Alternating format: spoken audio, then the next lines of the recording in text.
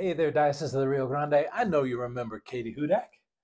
Katie, it's a joy to be with you. Tell us where we are and where you're serving and a little bit about your ministry since you've been ordained. Well, we are in Alpine, Texas at St. James Episcopal Church right now. Um, I actually live in Marfa, Texas, which is about 25 minutes to the west of here. And I am the curate in the Big Bend. And so that means, along with Father Mike Wallens, I get to serve five churches here in the in the Big Bend. And um, I've been here since November of 2022. Wow. Wow. It's been that long? Yeah, it- has, it has. It's been that long. It doesn't feel that long, but it, it has been that long. And um, I get to I get to serve on Sundays during the week. We do morning prayer on Wednesday mornings that is broadcast out to um, the rest of the diocese if the diocese is interested in tuning into that. Right now we're doing it at 9 a.m. because people were like 8 a.m. Really? and I'm like, it should be at seven o'clock. and they that's 9 a.m. Central Time, yes, right? So and it they- is 8 o'clock in the in the, in and, the yeah, yeah. mountain time But people just look at me when I say 7 a.m. and they go, I don't think You're so. So You're an early riser. Yeah, I am. I, I'm I'm an early riser, um, and I'm concentrating a lot of my time here at St. James, um, and we are moving this congregation ahead with the Holy Spirit. Please, Holy Spirit, don't forget us here. And um, so we have a Taizé service that we have started, and that's been attracting a couple of people. We had somebody here today who said, I used to come before, now I'm coming back. So that was really great. Um, and we're going to do Paint a Saint, led Oh, by yeah. yeah, led led by uh, Kendra Jones, who um, actually did a lot of artwork in Italy, and and she's one of our church members. She's amazing. yeah. And confirmed yesterday. She was confirmed yesterday. I got to baptize her on Easter Sunday, so that was wonderful. And um, you know, we're looking at getting the bishops' committee up and running again. We're going to have a, a retreat exclusively for St. James here in a couple of weeks and concentrate on on that. Um, but I get to meet people in all the other areas of the Big Bend as well, from Lajitas and Terlingua and Fort Stockton and here in Alpine and Mar- Marfa. And I just really love the people in this area. It's a great, great experience. It's a wonderful area, and and I am really pleased with how.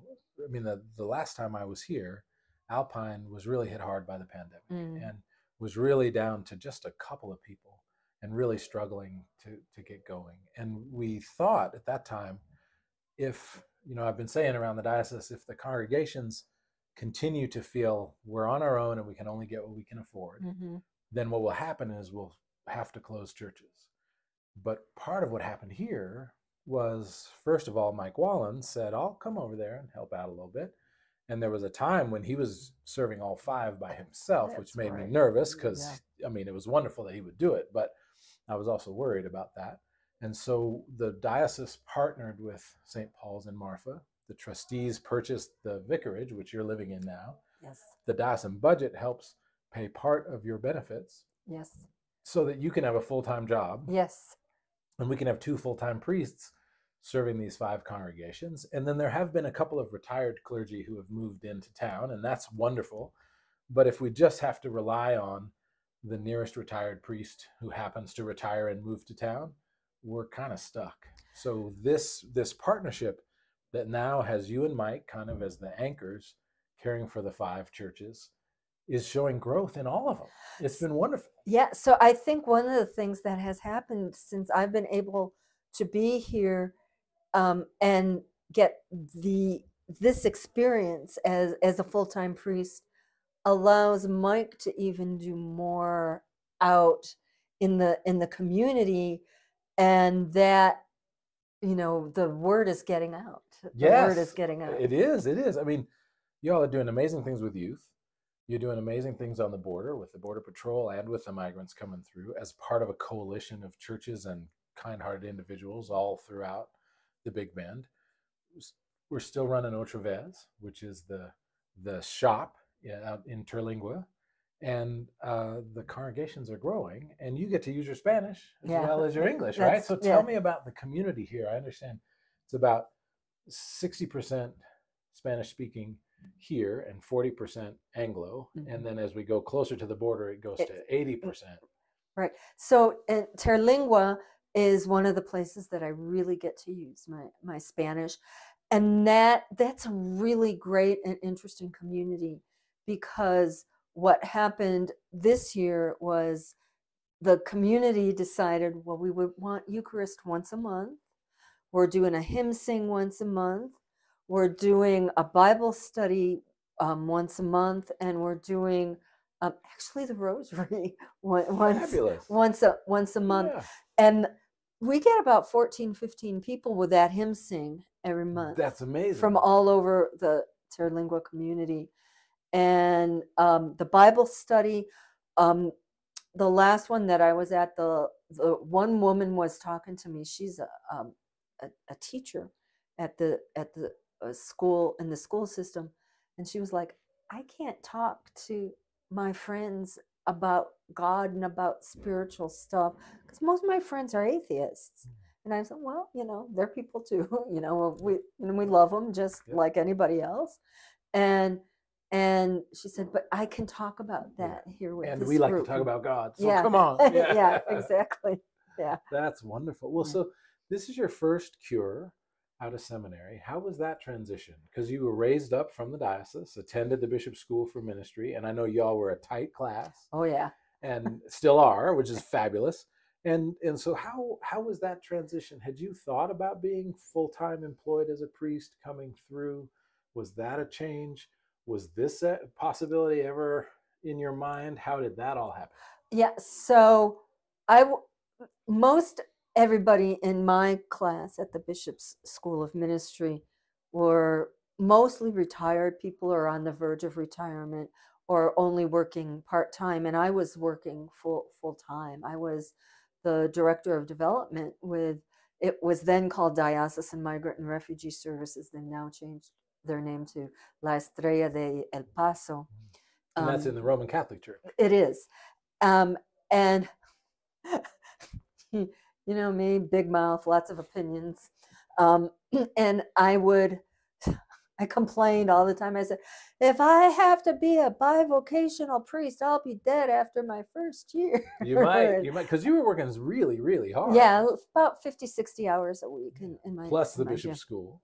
Yeah, right. I mean, that was intense. and and you know different church stuff on the on the weekends Mhm. so somebody said to me katie there are full-time jobs as Yes. priests Yes. um, and right when i was ordained um, i was still i was being bi- bivocational for almost about a year Mhm, mhm. And um, you know acting as a supply priest at st christopher's in el paso and sometimes at st albans in, in el paso um, but then this opportunity it wasn't that this opportunity opened up because this opportunity was there what opened up was the holy spirit working in me your heart. Right, yeah. right, right. Here Yeah. I am, send me. Yeah. and and How so did that feel when the Holy Spirit kind of opens your eyes and heart to something you hadn't imagined? How does that feel for you? well it was well hit me over the head with a spiritual two by four again god you know um mo- mostly sometimes god has to do that with me But how does that exactly feel? I mean, we're not talking about an actual 2 by right? no So, like, no no What what is it that like, it, it's like the scales fall off of my, your Okay, eyes or yeah. or something in you kind of changes or shifts a- and i was like yeah oh okay I could maybe do that. i could maybe do Yeah, that and yeah. and so that's what it it felt Yeah. like to, to me Yeah, for me, I when I'm engaged in a particular ministry, I focus on that. My head is kind of down. I'm not looking at the horizon. I'm not wondering what's next or around the corner. I'm just here doing this. And in my experience, mostly what God does is start shutting all the doors. like I keep Uh. trying to go forward and boom, I bump into that and boom, I bump into that and boom, I bump into that. And then all of a sudden I look up and I go, "Oh, maybe there's something else over there. That's what I mean by getting hit in the head with Yeah. a spiritual two by four. It's like you keep trying to do this and it ain't working out. It's not working out. And oh, oh, there's some yeah, there's something Mhm. there's something else. Yeah. You know. And at first it kind of feels like eh, and then it's like, oh wow, you know. Eh, because it's been a good fit. Yes, it has. I- I really, a concern that I had was, you know, I'm a city girl, right? And I said, well, I'm going out into the middle of nowhere, you know? and driving two hours between churches. I mean, yeah, th- people have to understand if you're not from the West, when we're talking about serving five churches in the Big Bend, we're not talking about 10 minutes, 15 minutes, 45 minutes down the road. We're talking two hours from here to Terlingua, two hours from here to Fort Stockton.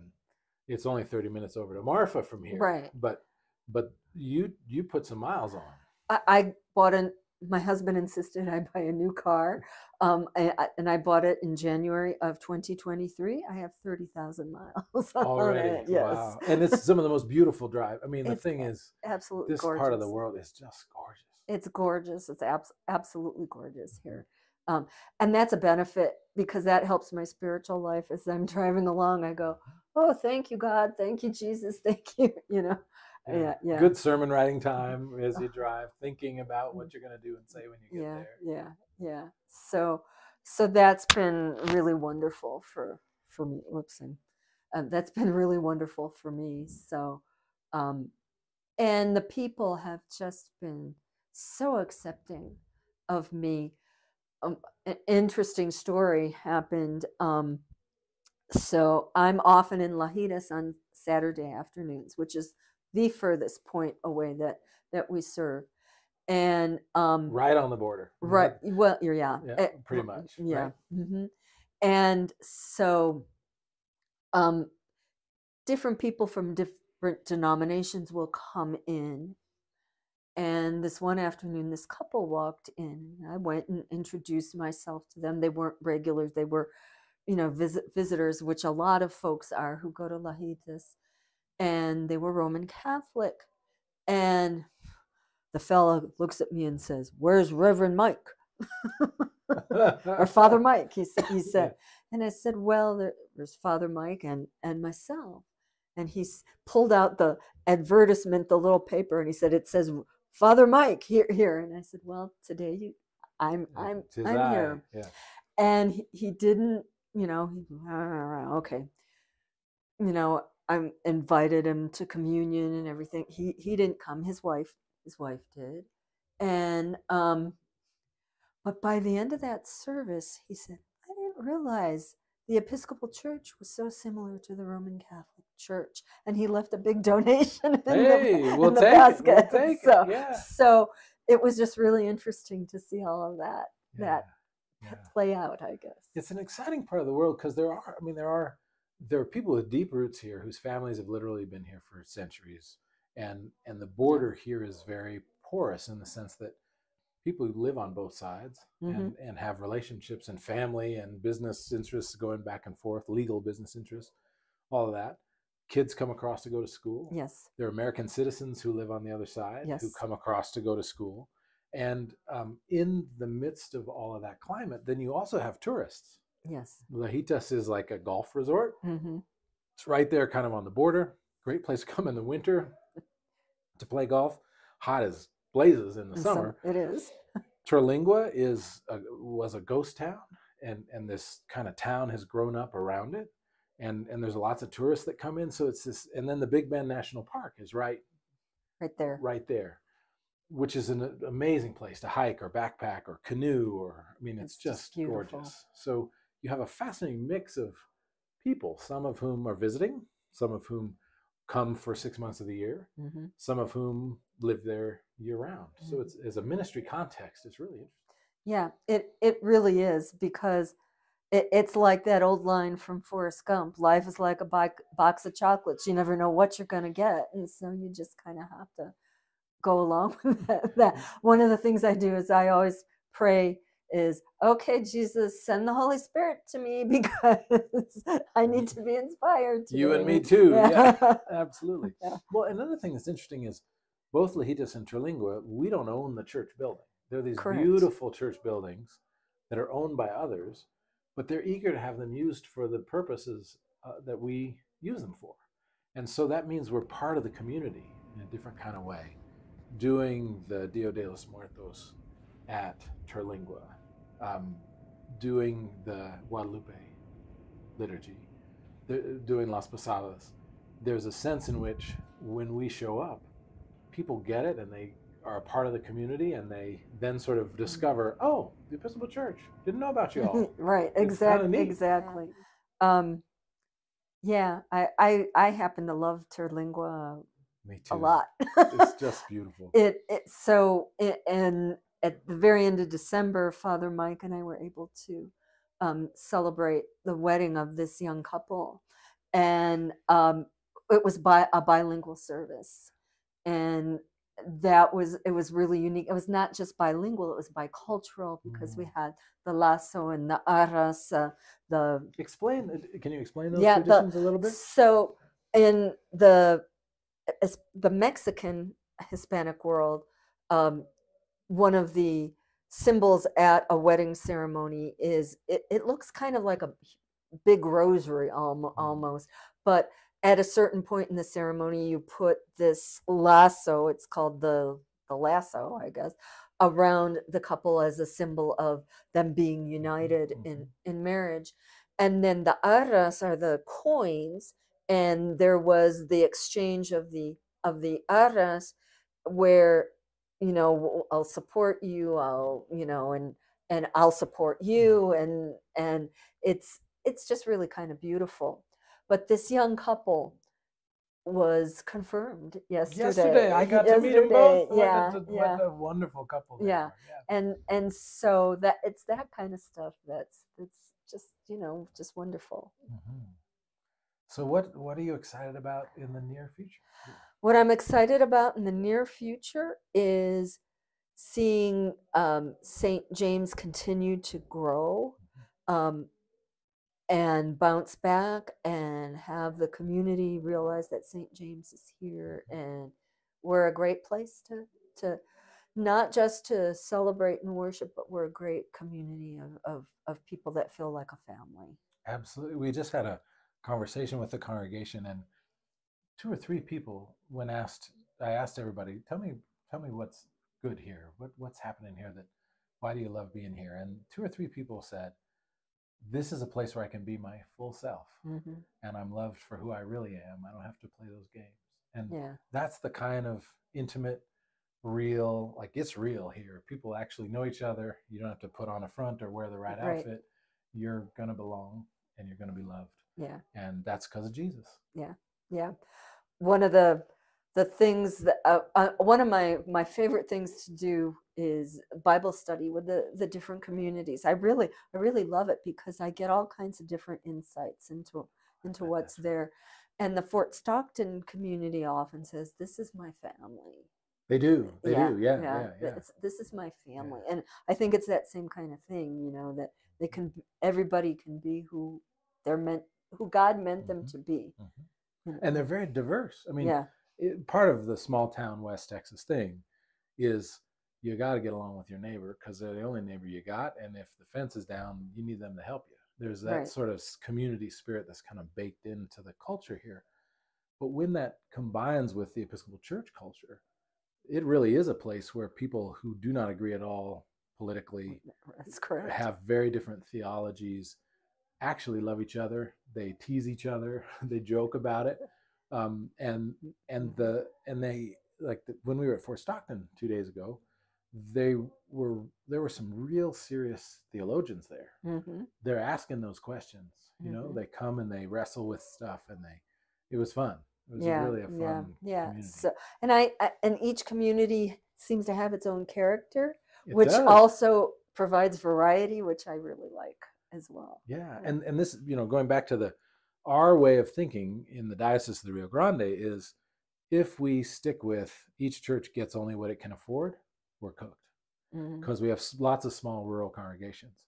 But what you all are demonstrating here in the Big Bend is that having a team of clergy, not yoking the congregations or making them have shared leadership or shared budgets or all that kind of stuff, they all contribute to the work that you and Mike are doing, and they share as is natural and makes sense Mhm. outreach efforts, Christian formation opportunities, etc. So you get the benefit of all five without having to collapse all five into one thing. Right. So it's a model that I think we can replicate in other parts of the diocese because we are literally seeing every one of these five churches is growing Mhm. thanks to you and Mike working here with the folks. Yeah, that's great.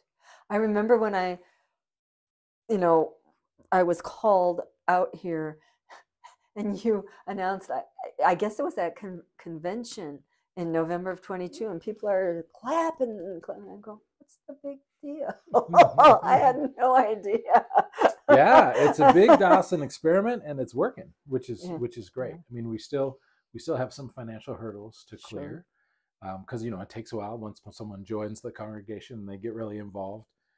It takes a while for them to invite friends, and for the stewardship piece, kind of lags the growth of the congregation in terms of people.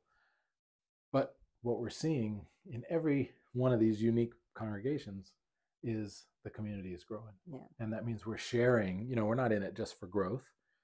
We're in it to share the gospel. That's right. And that's what's happening. Yeah. Yeah. It's been great. Yeah. Katie, thank you for your faithfulness to follow the call. As your bishop, I'm grateful that you're here. Come out to the Big Bend and see these beautiful churches and the wonderful people that are here. Yeah, it's great. Y'all come down here.